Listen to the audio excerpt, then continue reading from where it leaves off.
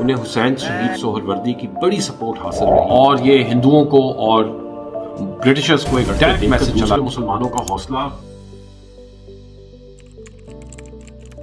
Hello दोस्तों ये वाकया 1940 से कुछ अरसा पहले का है कि ढाका के करीब गोपालगंज के इलाके में एक घर के बाहर कुछ मुस्लिम हिंदू फसादात हो रहे थे। हुआ कुछ यूँ कि कुछ मुश्तिल हिंदुओं ने एक मुसलमान नौजवान को अगवा करके उस घर में बंद कर लिया। पहले तो बात आपस में तू तू मैमे से शुरू हुई और चंद ही लम्हों बाद बात लाठी तक पहुँच गई और आपस में लाठियाँ चलनी शुरू हो गई। दोनों तरफ़ से बेनतहा लोग जख्मी हुए।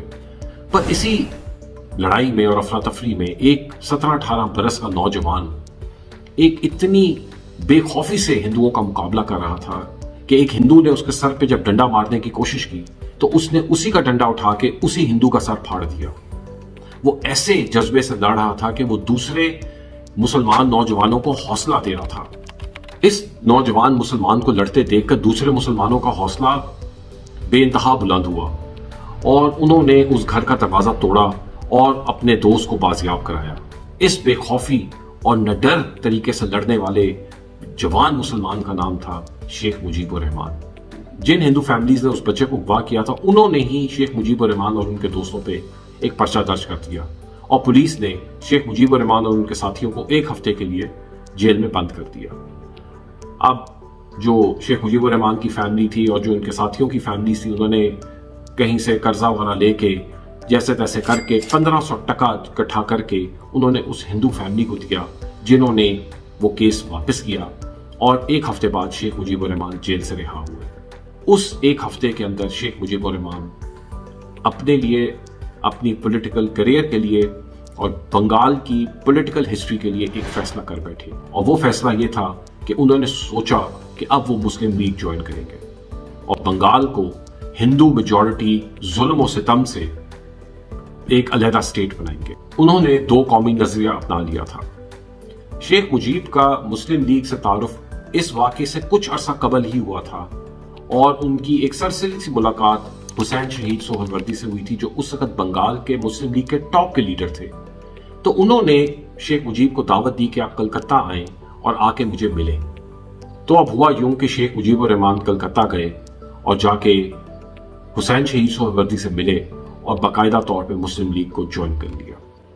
इसके बाद शेख मुजीबुर रहमान ने गोपालगंज और उसके बस्ती इलाकों में कई मुस्लिम लीग की जो मुकामी तंजीमें और मुस्लिम स्टूडेंट फेडरेशन की तंजीमों की बुनियाद कुछ अरसा बाद शेख मुजीबुर रहमान ने कलकत्ता के इस्लामिया कॉलेज में दाखिला भी ले लिया और वहाँ पर भी वो स्टूडेंट लीडर मुंतखब हो गए। इस काम में उन्हें कदम कदम पर हुसैन शहीद सोहरवर्दी की बेहद सपोर्ट मिलती रही बल्कि यूँ भी कहा जाता है कि वो सियासी शागिर्द बन चुके हुए थे हुसैन शहीद उन्हीं की सरपरस्ती का नतीजा था कि शेख मुजीबुर रहमान बंगाल में मुस्लिम लीग के जो हल्के थे, बड़ी तेज़ी से मशहूर हुए और बड़े ज़्यादा लोग उनको जानना शुरू हो गए। शेख मुजीबुर रहमान ने मुस्लिम लीग में रहते हुए पाकिस्तान के क्याम के लिए दिन रात एक करती लेकिन बंगाल के बहुत से मुस्लिम लीग लीडर्स और कारकुनों की तरह वो भी एक गलत फहमी का शिकार थे। तो वो गलत फहमी क्या थी दोस्तों? वो गलत फहमी ये थी कि करारदाद पाकिस्तान, जो 23 मार्च 1940 को मिंटो पार्क में रेजोल्यूशन अप्रूव हुई थी, उसमें जो अंग्रेज़ी में मतन लिखा गया था, उस मतन के मुताबिक एक पाकिस्तान के क्याम की बात नहीं की गई थी। अंग्रेज़ी मतन में दोस्तों ये लिखा गया था कि मुस्लिम स्टेट्स कायम की जाएँगी, जो प्रूल थी, यानी एक से ज़्यादा स्टेट्स बननी थी। और जब वो एक से ज़्यादा स्टेट्स होंगी तो एक मगरबी स्टेट होगी और एक मशरकी स्टेट होगी, यानी एक मगरबी पाकिस्तान और एक मशरकी पाकिस्तान। अब ये दोनों अलग अलग मुल्क होंगे, ये उस वक्त समझा जाता था। और ये उस करारदाद के जो अंग्रेज़ी में मतन लिखा गया था, उससे भी यही ज़ाहिर हो रहा था। शेख मुजीब रहमान भी यही समझ रहे थे। चुनाचे वो अपनी तरफ़ से मशरकी पाकिस्तान के क्याम के हक में भरपूर एक मुहिम चला रहे थे। यानी बंगाल की आज़ादी की और उसे आज़ाद मुल्क बनाने की।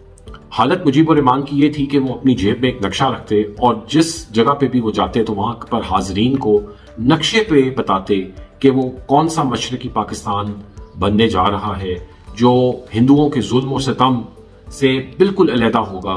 शेख मुजीबर रहमान ने मशरकी पाकिस्तान के क्याम के लिए इतनी अनथक मेहनत की कि वो अपनी पढ़ाई से गाफिल हो गए। इसी जद्दोजहद के दौरान कई बार ऐसा हुआ कि फंड्स की ज़रूरत पड़ जाती तो शेख मुजीबुर रहमान अपनी जेब से वो फंड्स अदा कर देते। ये शेख मुजीबुर रहमान और उनके दोस्तों की काविशें थी और उनकी मेहनत थी कि मुस्लिम लीग 1945-46 के इलेक्शन में भारी अक्सरियत से बंगाल में कामयाब हुई। मुस्लिम लीग ने 117 सीटें जीतकर बंगाल में अपनी हुकूमत बनाई। हुसैन शहीद सोहरवर्दी बंगाल के वज़ीर आज़म बने। उस वक्त जो सूबे का सरबरा होता था, उसको वज़ीर आज़म कहते थे। इस कामयाबी से शेख मुजीबुर रहमान और उनके साथी बेइंतहा खुश थे। लेकिन फिर एक ऐसा वाक्य हुआ जिसने उन्हें परेशान कर दिया। शेख मुजीबुर रहमान मशरकी पाकिस्तान को एक आज़ाद रियासत समझकर उसके लिए मुहिम चला रहे थे। उनका ख्याल था कि 1940 की लाहौर की करारदाद थी। ये उसके तहत ही सब कुछ हो रहा था क्योंकि उसके मतन के अंदर तो मुस्लिम स्टेट्स का ज़िक्र किया गया था। यानी उनके ख्याल में बंगाल एक अलहदा, अलग स्टेट, मुस्लिम स्टेट बनेगा। लेकिन फिर हुआ यूँ कि अप्रैल 1946 में मुस्लिम लीग का दिल्ली में कन्वेंशन हुआ। इस कन्वेंशन में एक नया मतन पेश किया गया और वो मंजूर हुआ, जिसमें उन्होंने स्टेट्स की जगह स्टेट को, यानी उसका जो एस था, जो एक प्रूरल था, उसको सिंगुलर फॉर्म में करके उन्होंने कहा कि एक मुसलमानों की स्टेट बनेगी स्टेट्स की जगह।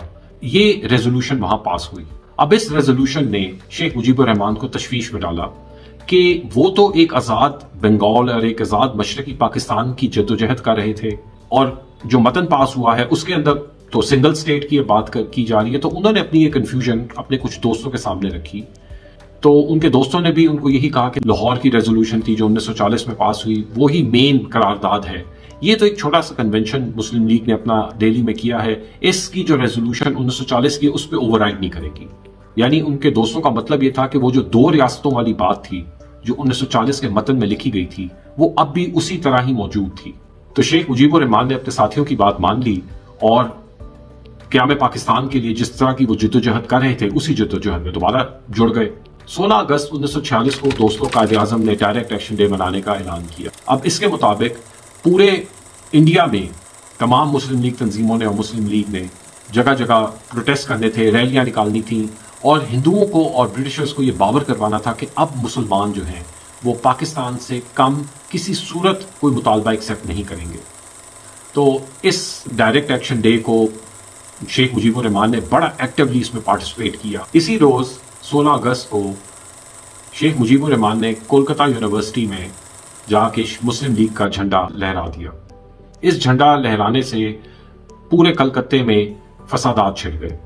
इन फसादात में सैकड़ों मुसलमान जख्मी भी हुए और बेघर भी हुए। लेकिन शेख मुजीबुर रहमान अपनी जान पे खेल के जख्मी मुसलमानों को बचाते भी रहे।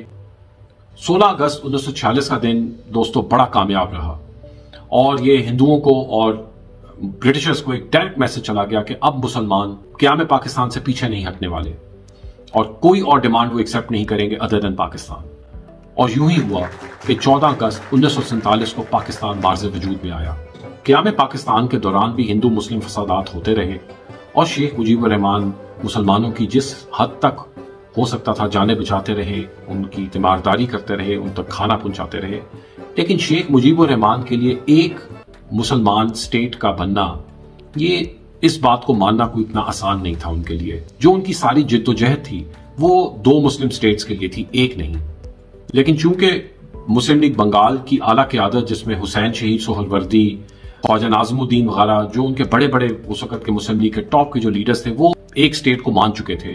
तो जो उनकी सेकेंड टेयर लीडरशिप थी मुस्लिम लीग की, जिसमें शेख मुजीबुर रहमान और उनके बाकी जो साथी थे, उनके लिए मानना फिर मसला नहीं था, क्योंकि उनकी टॉप टेयर लीडरशिप नए वतन में दोस्तों, शेख मुजीबुर रहमान एक मुहब वतन शहरी से एक गदार वतन कैसे बने, वो सफ़र क्या था? और क्या वो असल में गदार थे? तो दोस्तों, शेख मुजीबुर रहमान को गदारी या बगावत पे डालने वाला जो पहला मसला था, वो था बंगाली और उर्दू जबान में झगड़ा। अब चूँकि पाकिस्तान में बंगाली अवाम मेजोरिटी में थे, उनकी तादाद ज़्यादा थी तो वो चाहते ये थे कि जो बंगाली जबान है, उसको एक कौमी जबान का दर्जा दे दिया जाए। लेकिन हुआ इसके बिल्कुल बारक्स। जो पाकिस्तान की मरकजी हुकूमत थी, उन्होंने उर्दू को कौमी जबान का दर्जा दे दिया, बनस्बत के बंगाली। बंगाल के उस वक्त के वज़ीर आला ख्वाजा नाजमुद्दीन भी उर्दू को कौमी जबान बनाने की एक मुहिम में जुड़े हुए थे। मगर शेख मुजीबुर रहमान इस बात के खिलाफ थे। वो नहीं मानते थे। उन्होंने मुतालबा किया कि उर्दू के साथ साथ बंगाली को भी नेशनल लैंग्वेज का दर्जा दे दिया जाए, कौमी जबान का दर्जा। लेकिन जब मरकजी हुकूमत ने उनकी इस मुतालबे पर कान नहीं धरे तो 11 मार्च 1948 को कुछ बंगालियों ने ढाका की सरकारी इमारतों का घेराव कर लिया। इस एहतजाज में शेख मुजीबुर रहमान ने भी बढ़ चढ़ कर हिस्सा लिया। बंगालियों के इस एहतजाज के बावजूद कुछ रोज बाद कायद आज़म ने ढाका का दौरा किया।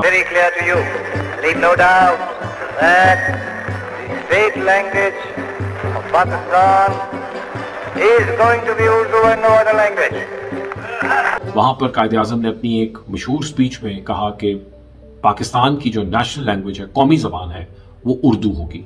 अब कायद अजम की तकरीर की वजह से वक्ती तौर पर तो ये मामला थम गया, लेकिन पूरी तरह खत्म नहीं हुआ। लेकिन 11 सितंबर उन्नीस सौ अड़तालीस को जब कायद आज़म की वफात हुई तो उसके फ़ौरन बाद ही ये मसला दोबारा खड़ा हो गया कि बंगाली जबान को कौमी जबान का दर्जा दिया जाए। अगले ही साल 23 जून 1949 को अवामी मुस्लिम लीग के नाम से एक बंगाली कौम परस्त पार्टी क्याम पजीर हुई, जिसको बाद में अवामी लीग के नाम से भी जाना जाता है। इस जमात को कायम करने में हुसैन शहीद सोहरवर्दी और मौलाना भाषानी जैसे अहम बंगाली लीडर्स के साथ साथ शेख मुजीबर रहमान भी शामिल थे। बल्कि शेख मुजीबर रहमान तो इस पार्टी के ज्वाइंट सेक्रेटरी भी थे।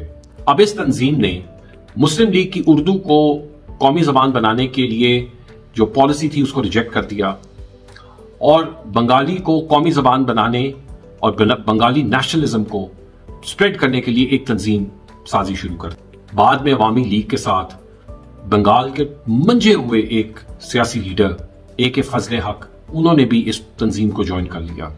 यूँ एक नया सियासी इतिहाद वजूद में आया, जिसे बाद में जुगतो फ्रंट या यूनाइटेड फ्रंट भी कहा जाता था।